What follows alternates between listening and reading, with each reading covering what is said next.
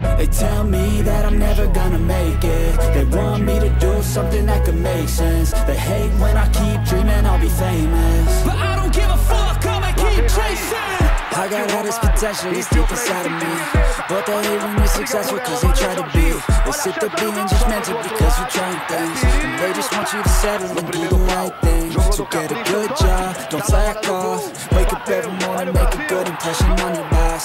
Don't do anything that I wouldn't do And when you're making money, make sure you don't spend it too soon. Fuck that, I'll do what I wanna do. I got a different path from everyone and that includes you who are you to tell me how to live life? In these times it feels like nobody's right, yeah. So I'ma figure out what else will succeed And then invest all of my time into that and proceed. I need whatever the hell could make me happy. And I don't think you have a clue what could